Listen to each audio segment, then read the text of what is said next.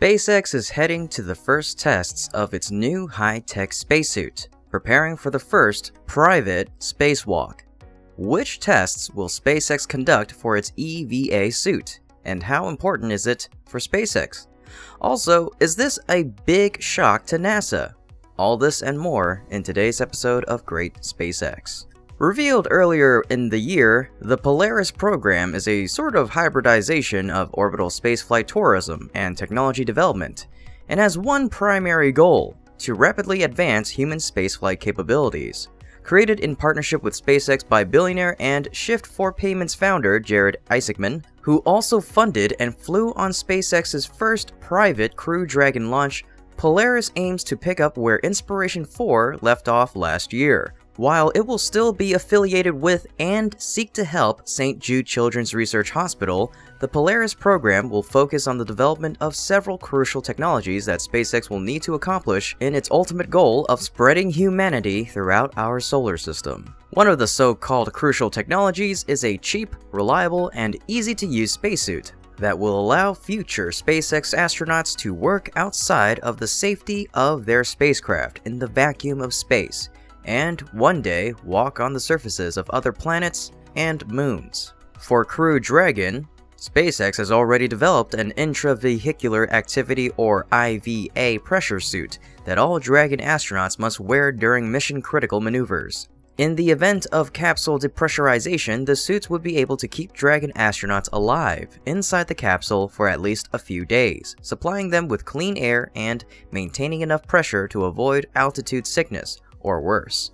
However, because IVA suits generally prioritize unpressurized mobility, the astronauts inside them can do very little when the suits are fully pressurized. At sea level, every person on Earth is subjected to standard atmospheric pressure, which amounts to about 101 kilopascals or 14.5 pounds per square inch. In a spacesuit, the suit itself must maintain a pocket of air at similar pressures, ultimately meaning that the outer skin of a suit must resist the same force. To put that into context, even operating at the absolute minimum pressures that humans can realistically tolerate and use, which is 4 to 6 psi, simply moving one's arm in an IVA suit could require hundreds of pounds or kilograms of force. Even in NASA's aging extravehicular activity spacesuits, which feature mechanical joints and other upgrades meant to make movement and life easier inside them, spacewalks are one of the most brutal and exhausting physical activities conceivable, requiring extraordinary levels of near constant exertion for hours on end.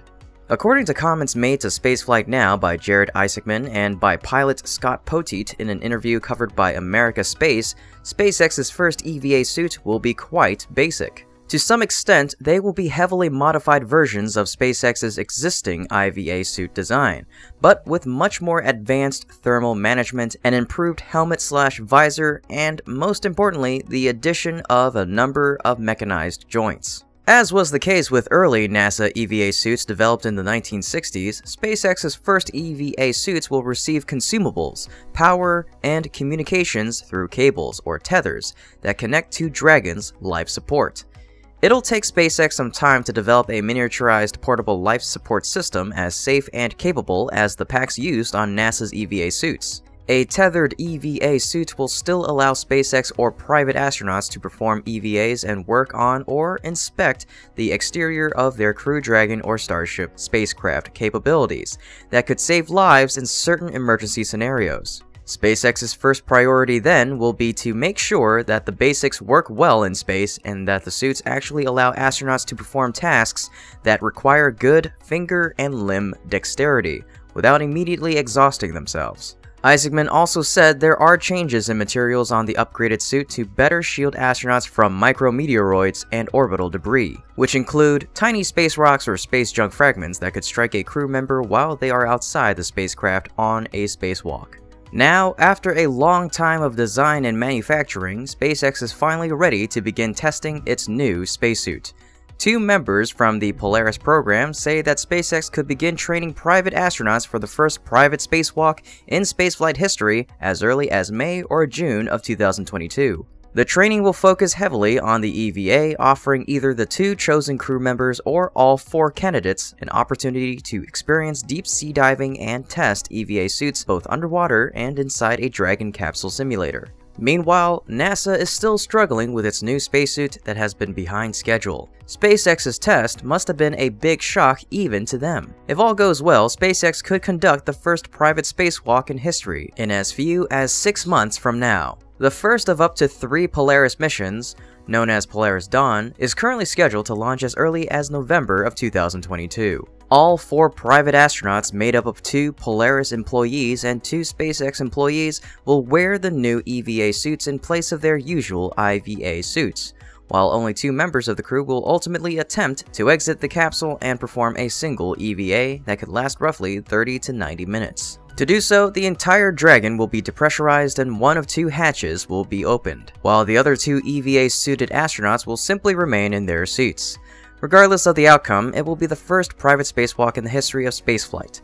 Beyond supporting SpaceX's EVA spacesuit development, Polaris Dawn's crew will also conduct a range of science experiments, attempt to connect to high-speed internet in orbit through Starlink laser links, and try to break the record for highest Earth orbit reached by a crewed spacecraft since the last Apollo moon mission in 1972, which stands at 1400 kilometers or 870 miles. Additionally, Polaris missions will also focus on research to benefit not just future explorations, but life on Earth as well. As Isaacman shared, all three Polaris missions include an extensive list of scientific research and payloads with an aim to test next-generation technologies that will support future long-duration human spaceflight and inspire the world as to all the possibilities that exist in the last great frontier. Both SpaceX and Isaacman believe in the future that such research holds. This program has been purposefully designed to advance long-duration spaceflight capabilities and to guide us towards the ultimate goal of facilitating Mars exploration.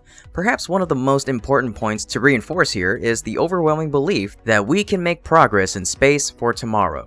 Additionally, while this is a private collaboration between SpaceX and Isaacman, there is still emphasis placed on this work benefiting spaceflight and exploration as a whole. As Sarah Gillis, SpaceX employee and member of Crew Polaris said, this isn't just about SpaceX. It really is, hopefully, opening access to space for everybody. And that's it for today's episode. If you enjoy what my team and I are doing, you can become a patron through our Patreon link in the description below.